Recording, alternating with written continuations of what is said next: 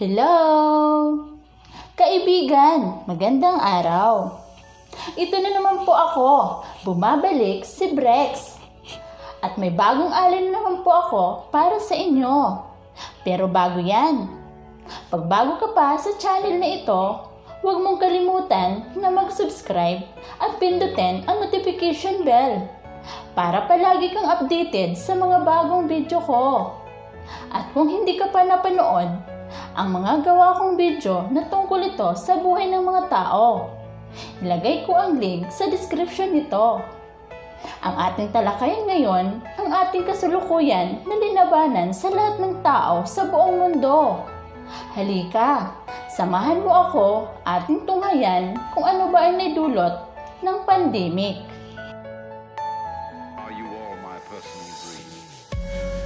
Pandemic Pandaigdigan na kaguluhan Ako, ikaw, tayong lahat naranasan na malakdown sa sariling tahanan.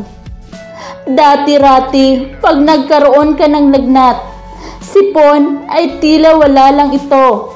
Ngayon, isang bahing mo lang, mga kasama mo lahat nagtitinginan. Ikaw ay pinaghinalaan na positibo sa sakit na lumalaganap sa sanlibutan. Coronavirus Disease 2019 o COVID-2019 ang pangalan. Lahat ng tao sa buong mundo, iyan ang kinatatakutan na baka sa virus madapuan.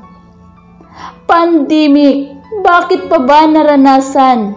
Yan ang tanong ng buong mamayanan sapagkat lahat ay nahirapan na magkaroon ng kita sa kanya-kanyang pangkabuhayan. Humigit na 30 milyon ang may kaso sa buong sanlibutan. Hindi lang isa, isang daan, isang libo o isang daan libo ang sa buhay nawalan, kundi mahigit isang milyon sa mga buhay lumisan. Dahil sa COVID-19 na tamaan, Pandemya ang malaking problema ng bayan kung paano ba ito malabanan. Kahit ang pamahalaan ay nahirapan kung paano malutas ang problemang hinaharap. Mga frontliners, buhay ay tinataya. Para lang maprotektahan at pagsilbihan ang taong bayan. Para sa pandemya makawala kaya't lahat ng eksperto tulong-tulong para sa lunas makagawa upang buong mundo sa pandemya makawala dahil mahirap man o mayaman man. Lahat sa virus takot na madapuan.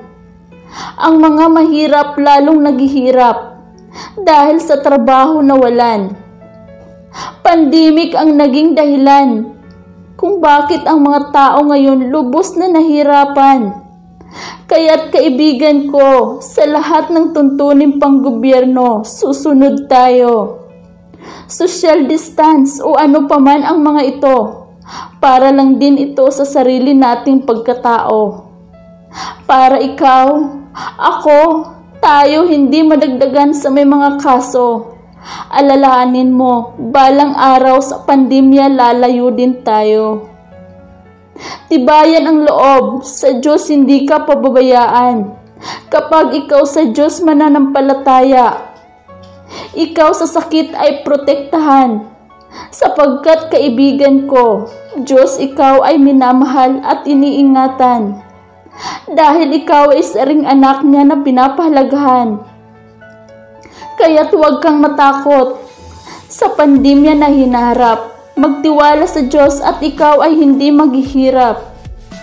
Pandemya, balang araw ikaw ay maging isang masakit na alaala na gumuguhit sa bawat isa't isa.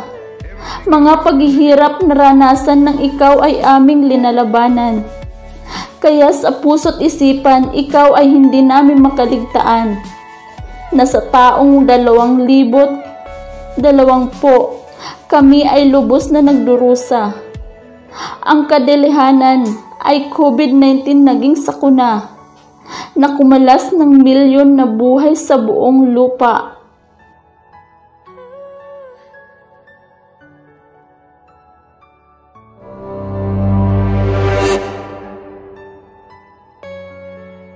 Ang gintong aral na ating makukuha ay sa ngayon, hindi lang ako, ikaw, tayong lahat, lumalaban sa pandemic na ating hinaharap. Kaya tulong-tulong tayo para makawala sa COVID-19 na ito. Sundin ang lahat ng tuntunin ng gobyerno tulad ng social distance, proper hygiene at iba pa. Iyan, para na sa atin, para tayong maprotektahan. At higit sa lahat, huwag mawala ng pag-asa. Mayroon tayong karamay na lumalaban sa pandemya na ito, na walang iba ang ating Diyos. Magtiwala ka, hindi kanya pabayaan. Huwag mong kalimutan ang sabi ng Diyos sa aklat ng Deuteronomio, 31, versikulo 6, Kayo'y magpakalakas at magpakatapang. Huwag kayong matakot, ni mingilabot sa kanila, sapagkat ang Panginoong mong Diyos ay siyang yumayaong kasama mo. Hindi kanya iiwan, ni pabayaan kanya.